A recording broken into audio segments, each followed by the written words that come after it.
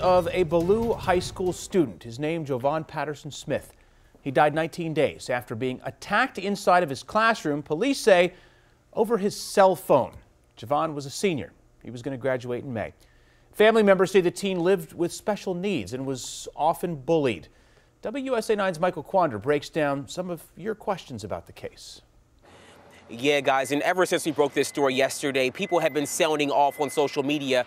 It's been shared more than 800 times on Facebook alone. So we wanted to just jump right in and get to some of your questions. And the first one comes from Candy, who asks, why no arrest? Well, right now, police are considering this case a death investigation and not a homicide.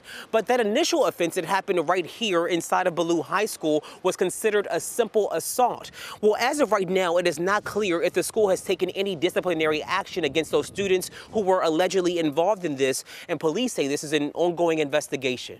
And the next question came from Marcus, who asks, why is there so little information in this case? And that's because police are only releasing what little information you can find in this police report.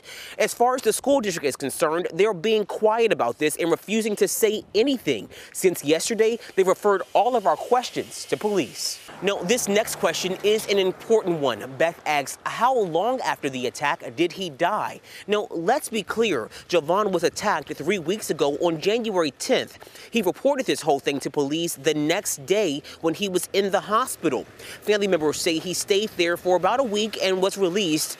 According to loved ones, Joevon started having seizures when he got out of the hospital. So he went back, started having complications. He was declared brain dead and was later pronounced dead on Monday evening. No, there are obviously still a lot of questions in this case that both police and the family are hoping that this autopsy may help answer. There's no timeline on when that may be completed. For now, reporting at Ballou High School in Southeast D.C., Michael Quander, WUSA 9. The medical examiner's office confirmed Joevon's autopsy has already been completed. It's unclear when the report will be released. Tonight at 11, we'll have an interview with Joevon's mother to hear her side of this tragic situation. In the